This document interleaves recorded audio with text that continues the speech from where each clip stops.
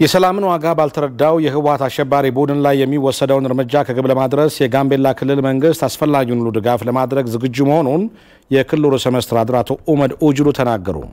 ርዕሰ መስተዳድሩ አቶ ኡመድ ኡጅሉ በወቅታዊ ጉዳይ ላይ ዛሬ በሰጡት መግለጫ እንዳስታወቁት አሸባሪው የህወሓት ቡድን ለሰላም የተሰጠውን እድል ባለመረዳት አሁንም ድረስ በተለያዩ የሽብር ተግባራት ላይ ተሰማርቶ ሀገር የማፈራረስ ዓላማ ይዞ በመንቀሳቀስ ላይ መሆኑን ህዝቡ ሊገነዘብ ይገባል ብለዋል።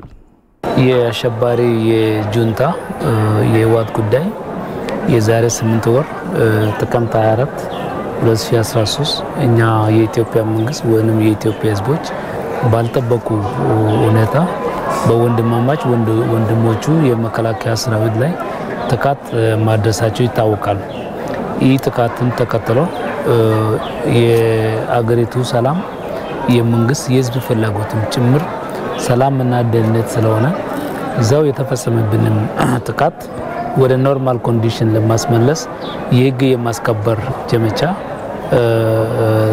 ተወስኖ ወደዚሁ የህግ የማስከበር ስራ ከተገባ በኋላ ወራትም አስቆጥረው ወራትም ካስቆጠረ በኋላ ይህ ጁንታው የለመደው ተንኮሉ የለመደው አመሉ አሻፕሪኝ ብሎ በተለያዩ የሰሜኑ አካባቢዎች አጠቃላይ የሀገሪቱ አካባቢዎች ብዙ ምልክቶች ሲያሳየ እንደነበረ ሁላችን የምናውቀው ነው።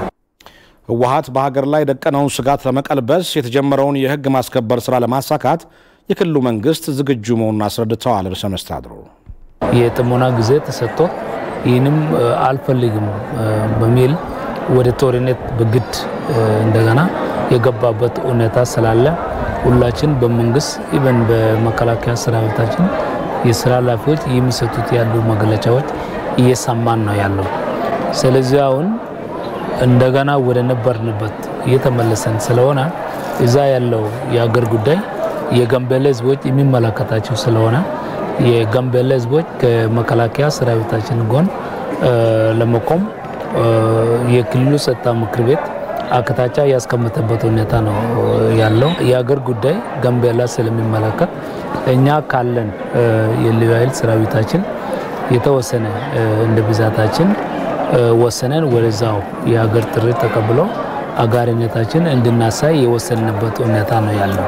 የጋምቤላ መንግስት የጋምቤላ ህዝቦች ከመከላከያ ጎን በመሆን የሚፈልግበት ማንኛውም መስዋዕትነት ከህይወት ጀምሮ መከፈል እንደምንችል በዚሁ ማረጋገጥ ይፈልጋሉ።